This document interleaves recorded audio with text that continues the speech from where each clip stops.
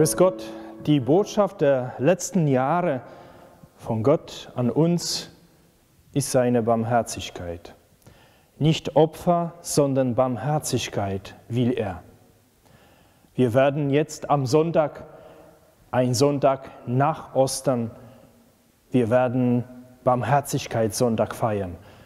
Warum ist dieser Sonntag so wichtig? Warum ist das so wichtig, dass Jesus durch die Schwester Faustina die Botschaft der Barmherzigkeit, seine Barmherzigkeit zur Welt bringt. Viele von uns spüren, wir kommen in unserem Leben nicht zurecht. Viele von uns spüren, irgendwie und irgendwas fehlt mir. Bin ich wirklich geliebt? Bin ich wirklich derjenige oder diejenige, die für Gott so wichtig ist? kommt er zu mir, auch zu mir und sagt mir, ich bin dein Gott, ich liebe dich doch. Diese Botschaft sagt uns ganz deutlich, ich liebe jeden von euch. Macht eure Herzen auf für meine Barmherzigkeit. Macht in eurem Herzen Platz für mich selbst, sagt uns Jesus. Wenn er die Hand auf seinen Herzen hält und die Strahlen, Blut und Wasser, die uns reinigen, die Strahlen, die uns zeigen, wie seine Liebe groß ist, dann sehen wir einen Gott, der liebt, auch mich, wenn ich sogar ihn nicht liebe. Das ist die Botschaft, liebe Schwestern und Brüder, dass Gott mich liebt auch sogar wenn ich weit weg von ihm bin. Die Botschaft von einem barmherzigen Gott, der immer wieder schaut, kommt er, kommt sie zurück?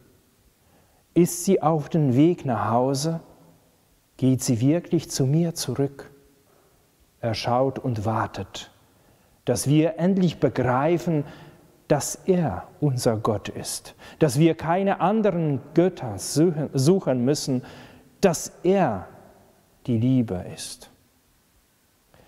Als Gott uns die Barmherzigkeit Botschaft durch die heilige Schwester Faustina schenkt, ist die Welt in einer Zeit des Krieges.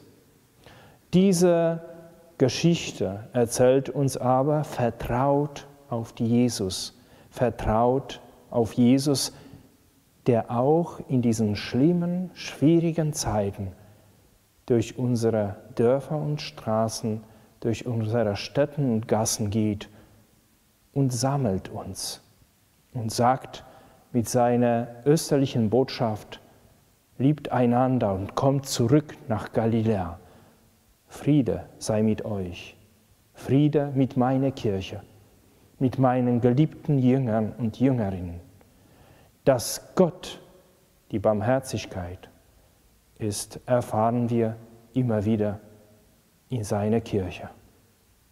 So sehen wir hier, liebe Schwestern und Brüder, an Jesus, der die Arme ganz breit auseinander hat und dass er diese Arme an uns richtet und er sagt, kommt alle zu mir, ich bin die Quelle des lebendigen Wassers.